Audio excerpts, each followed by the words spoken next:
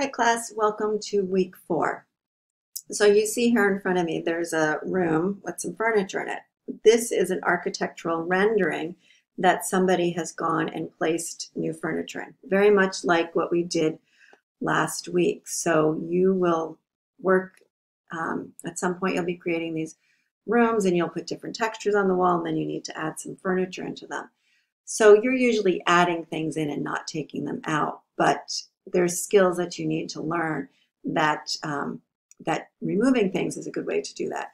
So you look at this couch sitting here and you think, oh, I'll just pull that couch out. But there's nothing behind it. You need to create what's behind it.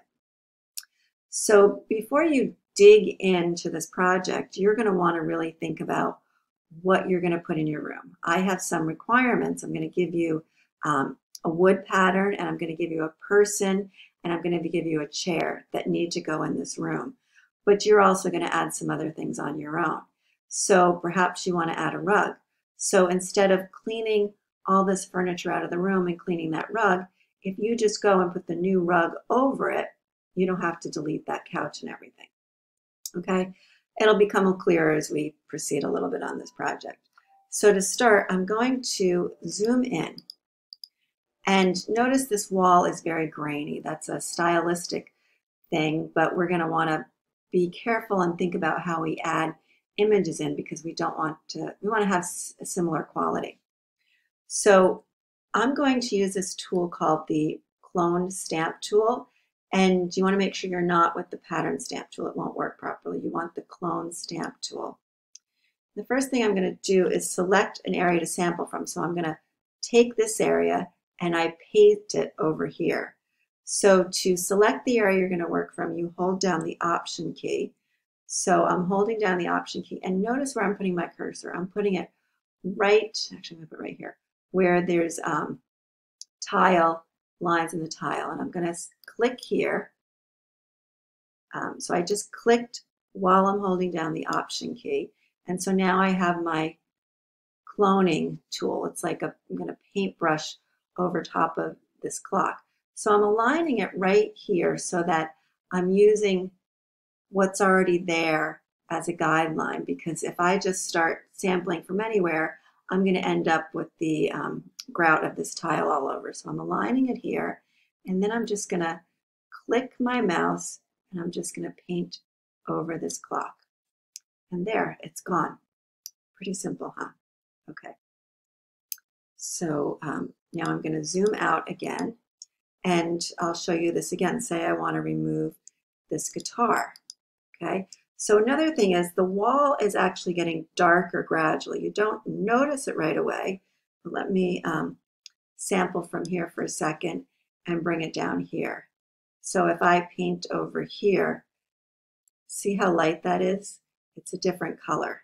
Okay, so I'm going to do Command Z. So I'm going to copy this guitar. So I want to sample from an area as close to this guitar as I can get. So I am going to click here. And I'm going to move over to the guitar. Um, and the tile actually changes here. So you know what? I'm going to change my mind. I'm going to click here and paste starting here just go straight down. So I'm going down so the light is changing on my drawing. Now see the way I'm repainting that guitar? Whatever was behind there before still shows up, okay? And I'm gonna go up for a minute and hit the top of that guitar, but then I ended up putting some schmutz over here. So I'm gonna grab another sample spot. I'm gonna go and just click and paint, paste over that. And then I'm going to come down here and I'm going to click from this sample spot. And I'm going to paste over the rest of that guitar. Okay, so you can see it starts to get a little bit um, challenging. And notice what's happened over here is I've got this repeat. You definitely see this repeat. So when I zoom out, it starts to make this weird sort of zigzag pattern on there. So when you end up repeating too many times something distinct on the wall, you get this pattern. So a good way to get rid of that is to just get a new sample spot. I'm going to grab a sample spot from right there. I just held down the option and clicked. And I'm going to go and click it right there. So it got rid of that repeat pattern.